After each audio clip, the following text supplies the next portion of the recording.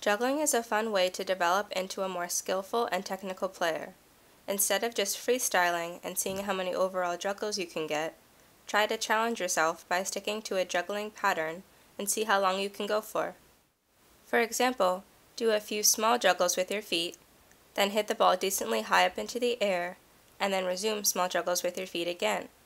See how many times you can go from small juggles to a high juggle and then back to small juggles.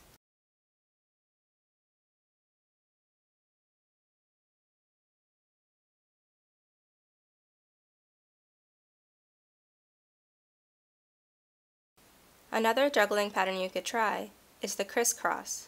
Juggle with your right foot, then your left thigh, then your right thigh, then your left foot, then your right foot, and continue this pattern for as long as you can.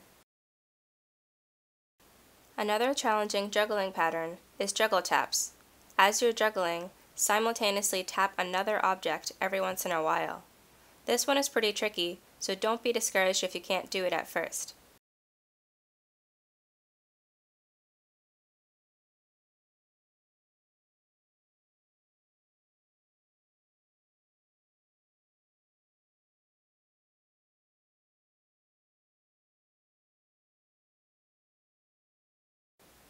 You can also switch things up and see how many headers you can get in a row.